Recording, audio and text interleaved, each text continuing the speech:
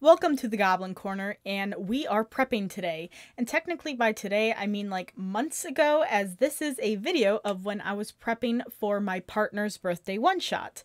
Um, I was using a game called Fishblade, and I wanted to um, you know, prep a whole adventure here. And I'll I'll tell you what, one shots I usually like to think as an opportunity. You know, don't do any prep, do some improv, have fun with it. But I have such a love for prepping that I have a hard time not doing that sometimes, and that is what I did here. Uh, just to kind of give a description of what's going on here, the first page that you don't see me working on is my session zero, where I just got uh, all the people together. I went over the rules and we made characters, and then I was just trying to write out kind of some of the ideas of what I wanted from this adventure. And kind of my goal, um, if you can read any of it, was to do a little dungeon. And so on the second page here, I have like my little characters at the top, aka the PCs who were playing. We have Crabrave, Omen Scarfin, and Calamari. And then I start writing out my prep how I've done for sessions and also um, one shots in the past, which is by doing like a beginning, middle, and end. Now, the way that I do this is that the beginning of this adventure was how they were getting this job, which I decided was hey, they get hired by this guy who knows someone who has basically an undead clam that um, he wants to get killed. And so they get hired up. It was kind of like this clam bounty thing, which I had a lot of fun with. Um, and so they get hired up, and then the whole middle part is, you know, off to the cave, which was where this clam bounty was going to be had. And I basically went through each of the rooms and described kind of what was in each room, the important bits. Um, there was a scientist named Long John Silver, who was um, the one who made this lich clam, um, which the clam was actually his pet clam named Chowder. Um, but then he brought it back to life and bad things happened.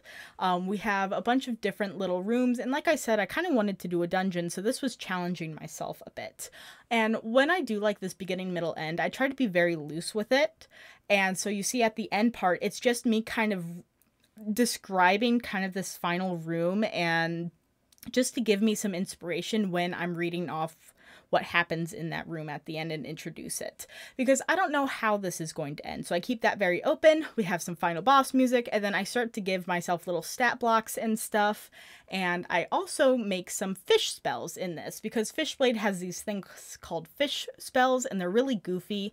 Um, I ended up not using any of these fish spells because we ended up having a more roleplay based game, and so Next time, I would definitely like to get some use of them if we play something a little bit longer. But there's some really cool ones like Plasma Monolith, um, Wood Chain. Like, I, I thought those would be really, really fun to play around with. Now, another thing that I decided to kind of challenge myself with this one shot was to actually draw out a map.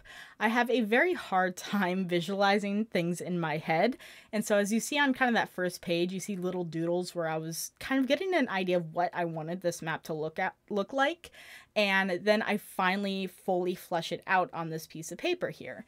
And I use this piece of paper as like kind of to write random stuff on. You know, I have my spells on there. I ended up I think using the back of it to um, figure out some of the stats and stuff that I wanted for these um, enemies in the game, which I ended up having like these um, mimicking seaweed in that kind of first main room there, which you can see me drawing out soon here. Um, and that was to like kind of grapple the characters as they had to go through this entrance in this cave and then kind of that main area like that the second room i guess that they go into um, is where long john silver was and that's where they met him and actually um glued him to the cave wall. I actually have a whole video that will come out after this of how this game actually went, so I will definitely make sure to add that. Um, and then we have the third room off to the side that was full of a bunch of bitey tadpoles. And then we have the final room, aka room four, which has our undead clam in it. And that, yeah, the clam cave map. Um, I was very proud of this. And that is how it all looked after I was done prepping. You know, little bit of highlighter and some fun stuff like that. Um, as you can see, I kind of do these spreads for my prep like that. And I also made sure to add a cheat sheet and some other random information information that I could need during the game. Um, I really like doing prep like this. I don't tend to do it all the time, but yeah,